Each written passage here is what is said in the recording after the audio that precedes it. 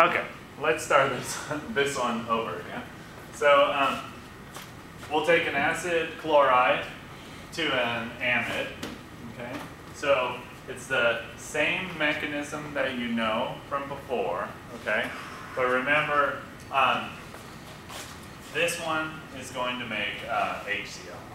So let's uh, get it going. So I'm going to erase this portion.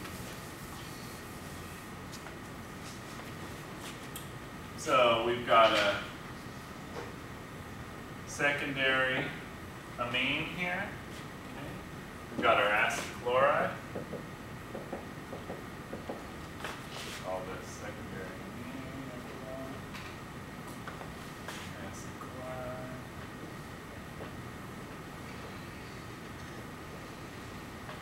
It's going to make a tertiary amine. So remember, just like last time, chlorine takes positive uh, or takes negative cha charge away from that positive um, center, that electrophilic carbon. So that nitrogen, it wants to donate those electrons so bad already, you know, so it sees that positive, it's going to attack. Okay, so it's again the same mechanism as when the sodium methoxide attack.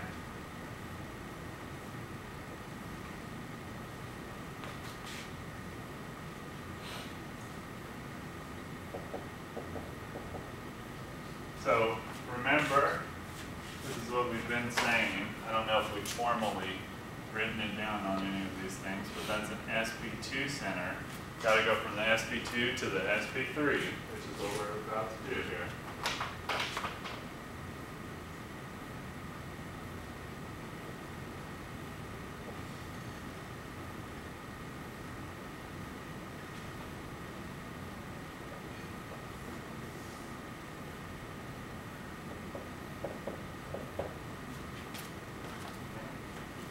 So there's our sp3 center, tetrahedral intermediate.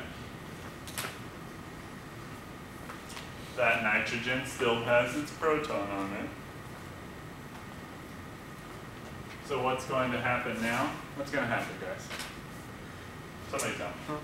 Um, the electrons go back down and Yeah. create that double bond Very and then throw that chlorine away. What he's saying, right? I was trying to. Which one's gonna, yes, Kendra. which one's going to leave? The chlorine. But it's actually questionable which one will leave because mm-hmm. this is a protonated amine, right? So that's a pretty good leaving group too. But if that happened, it would just go back this way. And then it would start the reaction again, okay?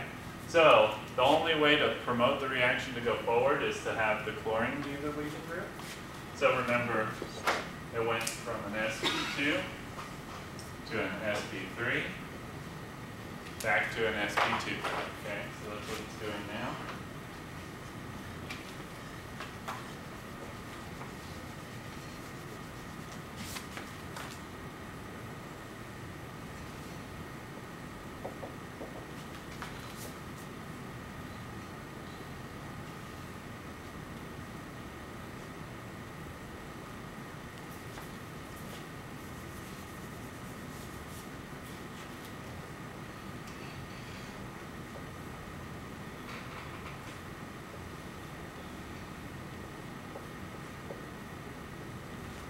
Are we done? No. No, because we can't have that charge still on there. So what's gonna happen, the chlorine's going to remove that proton, yeah? Putting those electrons back there.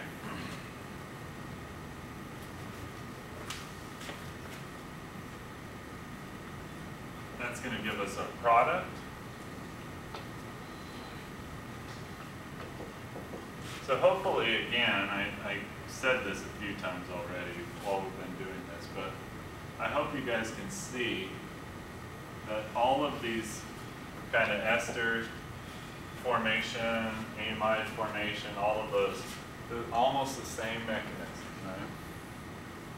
So this one you gotta watch. If you put excess of the secondary amine in there, that will um, take the uh, pH higher, okay? This, obviously the HCl is gonna make your pH low, so if you've got a sensitive molecule, you're gonna destroy it, so you gotta watch out. If you put excess amine in there, that will alleviate that problem.